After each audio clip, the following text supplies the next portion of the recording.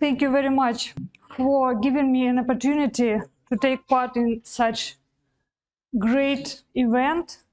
Thank you very much uh, to organizers. And I would like to present uh, this topic about analytical model and simulation for the random motion in arbitrary direction.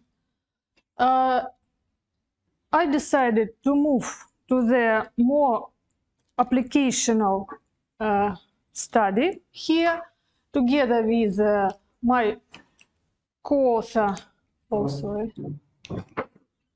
Kuznetsov Alexander Vladimirovich.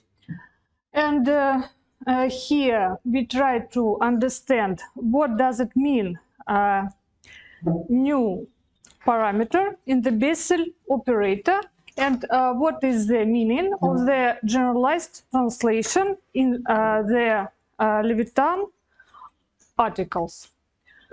So, uh, the short history. Um, when I try to find uh, some applications of the theory which I studied from analytical point of view, I moved to the, I, I would like, I, I wanted to move to the such uh, something statistical things or something like that. And I um, started to looking for some applications and I found in very old, oh, sorry, very old uh, paper. It is not uh, actually a paper, it was uh, the newspaper uh, which uh, was uh, published in um, Uh, Cambridge, I think, and uh, it is uh, mathematical questions. in this paper, people asked uh, mathematical questions uh, without answer. And uh, in the next um, in the next paper, you can find or not an answer. So the first paper, the first question was posed in this questions uh, which was written by Crofton, and probably it was the first uh, uh, uh, first problem about random motions, uh, which was uh, considered from the mathematical point of view. The next was uh, uh, the uh, letter of Pearson, which asked about what is the model of this situation when one agent is moved um, in arbitrary direction in each step. Uh, what uh, will be the model of this uh, random motion? And uh, uh, Rayleigh, Lord Rayleigh, answered to Pearson that he uh, already considered such problem from the point of view of the of the uh, moving of the vibration, sound vibration. And the next, um, uh, based on uh, Rayleigh papers, Crofton, uh, not Crofton, sorry, Kluyver, uh, solved this problem from the mathematical point of view. And uh, uh he uh, used Bessel functions and uh, uh, after that, Pearson, with his uh, co-author, uh, I think his, his PhD student, they wrote a paper about mathematical theory of random migration, which was applied to animal migration, the model of animal migration. Next, uh, it was a case uh, on the flat, on the plane, flat case. And next in uh, the book of Watson, because uh, these models uh, were um, based on Bessel functions. And of course, Watson generalized this model into the case when we have not a plane case, but mm, space case. Uh, more detailed historical overview can be found in uh, a lot of paper, for example, this one and this one. And uh, next, uh, what application? Uh, there are a lot of application of such problem when uh, agent move to the arbitrary direction in each jump. And for example, it, it is um, the Rayleigh Lord Rayleigh paper about uh, vibration of sound.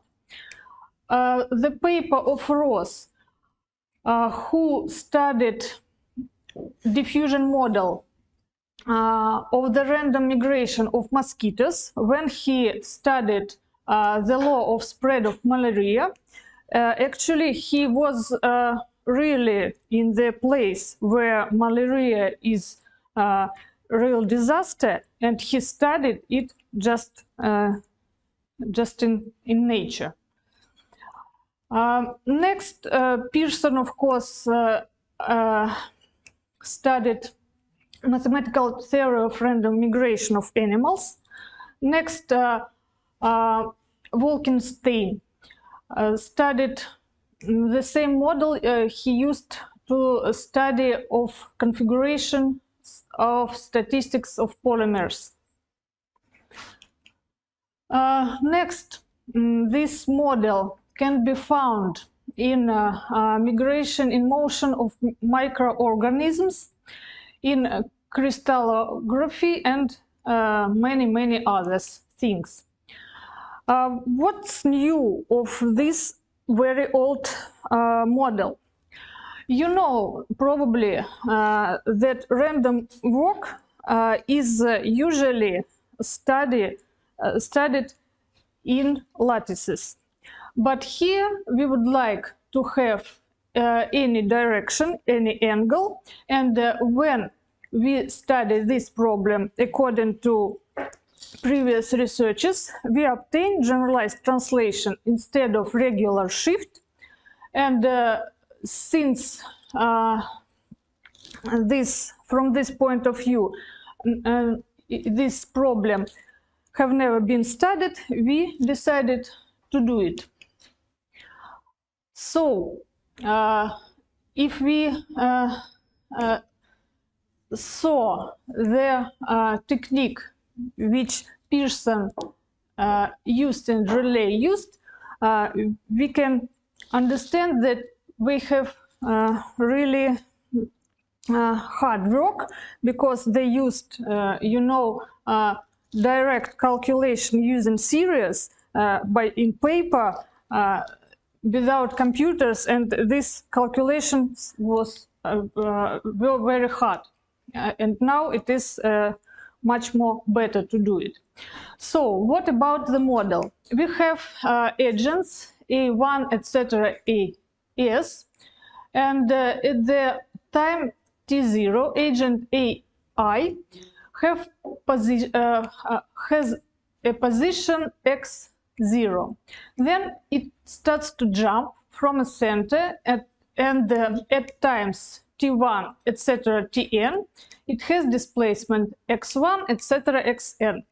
The resultant is Sn. This is the sum and uh, we would like to find the probability that um, this displacement is uh, less or, or, or, equal to some uh, positive value r. And uh, what we have here? We have here for arbitrary real number nu, which is greater than 1, we have this probability uh, this probability is written using Bessel function and uh, G small Bessel function, where uh, G small Bessel function is a normalized Bessel function. It is just uh, equal equals to uh, 1 at 0. So here the uh, probability, and it we can't see generalized translation in here, but uh, we can see it in the proof. So Uh, first of all, we present this probability as this integral, and uh, the uh, inner integral has no limits here. Why? Because uh, here this value of theta n minus 1 uh, extend all the, the values uh, which make model Sn less or equal to R. This is uh, our um, what uh, probability we would like to find. So, and uh, how we can uh, write it?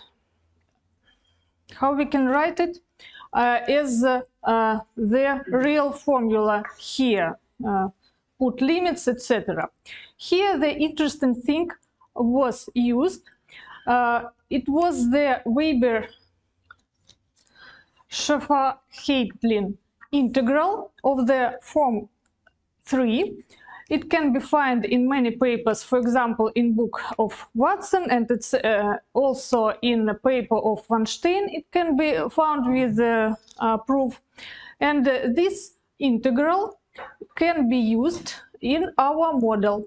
So we can rewrite it in uh, this form for our goal, and we can see that it is equal to 1 when uh, this uh, displacement is less or equal to r and uh, it is uh, equal to zero. This then this displacement is greater than r so we can use it. Uh, what next? Next we put it to our formula and here we can obtain that uh, theta n minus 1 can be from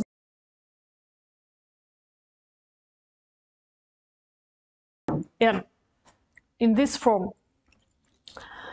And uh, what next? Next, uh, when we put all uh, lengths of each jump is equal to L, we obtain this formula. And uh, here we can do very simple exchange of variables and but this formula is very important. This formula is number eight and uh, we will talk about this formula later. Uh, what is connection with the classical things? Uh, for nu which is equal to 2 uh, it is just result of pearson Rayleigh model. So um, nu here means that uh, migration is uh, on the plane. Next, uh, uh, we can see Kluyver model. and when nu is equal to k and k is natural number, uh, we obtain Watson model. And the Watson idea was that the k is the uh, uh, dimension of space where agents are uh, where agents do their jumps. But um, we were interested in the case when nu is not natural number and uh, we, we wanted to understand uh, does it mean something or not? How it is possible to understand it? First of all we should understand is this work is this model really working model, how it is possible to understand it. We uh, use here uh, so-called simulation models. So my co-author here, uh, Alexander Vladimirovich Kuznetsov, wrote programs which simulated according not to formulas, not to analytical formulas, but uh, you know some um, uh, rules of jumping of when agent just jump in without analytical formulas and we started to um, uh, consider probability uh, analytical and uh, his probability which he obtained in his model. And we surprising, uh, surprisingly understand that the probability practically the same it was very uh, strange for us because uh, for us this integral model looks very uh, hard and uh, the idea that it is really will be true when we use simulation, it was uh, mm, very strange for us, but it is so. Here, uh, the description uh, of the multi-agent model which uh, he done. So he have uh, all these things in his simulation models, uh, simulation model, the uh, same uh, set of agents and uh, different lengths. And he asked me to understand what is the what is the parameter will be will be play role of speed and we found it in uh, Formula 8. Uh, and next, the goal was to understand what does it mean fractional or not integer, not integer mu here in this model. So uh, this uh, model is very useful in different things and very applicational. And uh, here we have uh, the description and uh, the example of um, work. Of course, this is it should be animation, but uh, here it is just a picture. And uh, the code of this program can be found in this uh, link. And he used NetLogo uh, system and uh, for calculation, you know, we should calculate a lot of integrals uh, which uh, which have uh, a lot of Bessel functions. So we used here just um, ordinary instruments which we can find in Wolfram Mathematica and MATLAB, but uh, of course we should write our own program for it because uh, these instruments are uh, not really nice for this uh, task. And uh, next we consider two models, isotropic and anisotropic model. isotropic model means that the agents can move to any direction without uh, preference uh, of the direction. This model is isotropic and the next model anisotropic when we have some restriction for the angle for the angle on the flat on the plane or uh, to the angle in the uh, space so this uh, model called anisotropic here two pictures of isotropic model and uh, this uh, case when agents move along the OY axis. It means, for example, for animals that uh, they found some direction uh, through the river or something like that. Um, next, we consider this uh, um, simulation so-called probability. It is just number of agents divided to uh, m. And uh, uh, here we consider first uh, m uh, equal to 2 and 3. And uh, it it, is, it means that we consider in our analytical model nu is equal to 2 and 3 respectively. And first uh, goal of this was uh, to understand what does it mean uh, speed here. Here we, we used this, you, you know, um, these formulas to understand how close uh, our theoretical model to our simulation model. And uh, here we obtain uh, these results. When nu is equal, here the analytical probability and here the uh, simulation probability in uh, the plane and here in the space. And uh, we can see that uh, mm, when we compare two such models, we can see that it is quite well fit.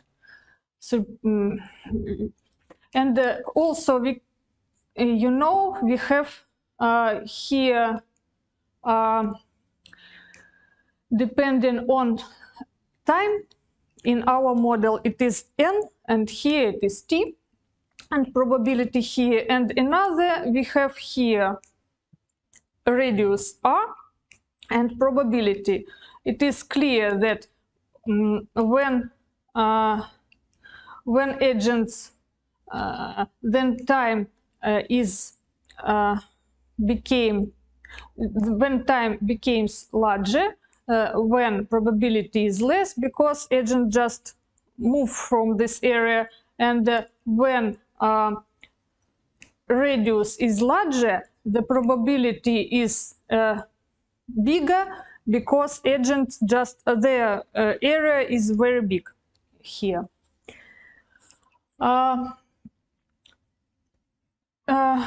We found here this coefficient. We can uh, which means that our models uh, is quite well because this coefficient should be close to 1 here uh, three-dimensional uh, representation here we have time and here we have radius it is just to understand uh, the general situation which was presented in the previous picture uh, in the uh, two dimension. Next, what next? Um, here uh, we can see the different speeds and also we, uh, if we change this parameter v in formula 8, we obtain this uh, also good approximation. Next, uh, um, here we have the same uh, result, but uh, here uh, probability depend on uh, time and here depend on radius. And we can see not really nice things here. Um, we do not know for this moment, does it mean, does it sense or not? Uh, and uh, here we can see our uh, measure of um, mistake. And uh, what next? Next, uh, we take different values of nu, but here it, it looks like v, but it is nu here and we can see when nu is greater than uh, 1 and less than 2 we obtain also a good approximation. And it means that uh, we have here restriction uh, to the angle. It means that ag agents uh, should move not uh, to all uh, different direction but they prefer one um, direction and uh, it is uh, measured by angle, this pre preferable direction. So this uh, this is meaning of our nu, which is parameter of our generalized translation and which is parameter of our Bessel operator. Uh, the same picture, but here we have uh, also not very nice uh, uh, points.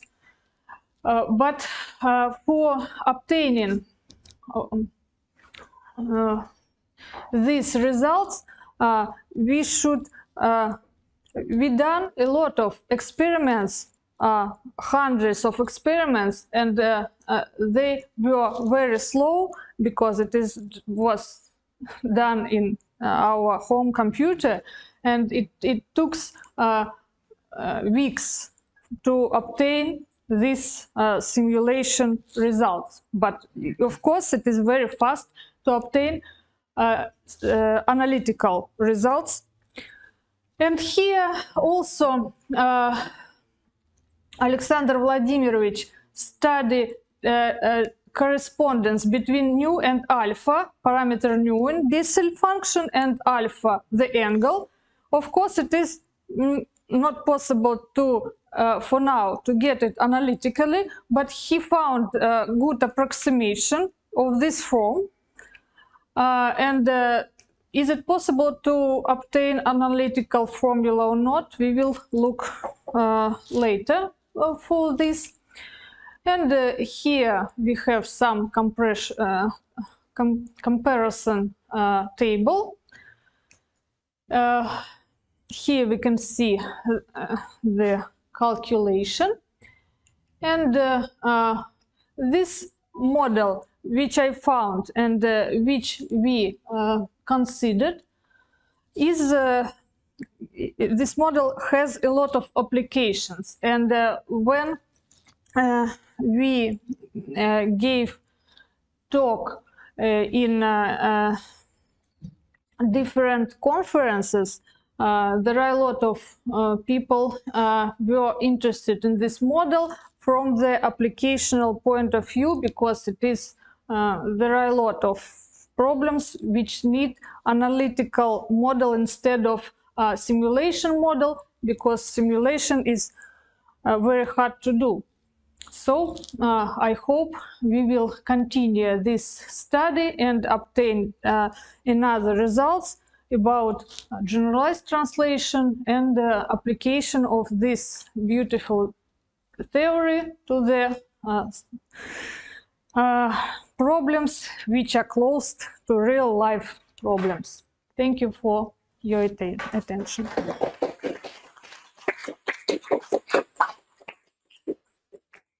Thank you very much for the interesting talk, and we have quite some time for questions. Hello, could you, do you hear me? Yes. Uh, So uh, could you say something about uh, the spread of epidemics? Uh, What do you think that? You said, you mentioned it could be applied. Yes, it could be applied, but uh, we should have uh, uh, something like real data. And uh, you know, it is a very big problem to understand which data are real because in uh, every city, in every country, uh, data about epidemic, uh, uh, actually about COVID epidemic, collected by uh, their own way. And is it possible to combine it or not? We do not know. But of course, uh, we can somehow apply it to epidemic, to spread of epidemic, because it is also some kind of diffusion problem. Yes, uh, probably we will do it in the next time. Thank you. Yes, please. What do you mean by the preferred direction? Does it mean that you just prohibit to? Yes, yes. Uh, agent uh, in simulation model, agent just can't uh, to turn to the angle which is uh, larger than presented. For example, here, uh, you know, it is angle from the one direction, but of course it is radial symmetry uh, to the another direction also. So this this this means preferable direction here. Further questions, please. If there aren't any left, then let's thank the speaker once again.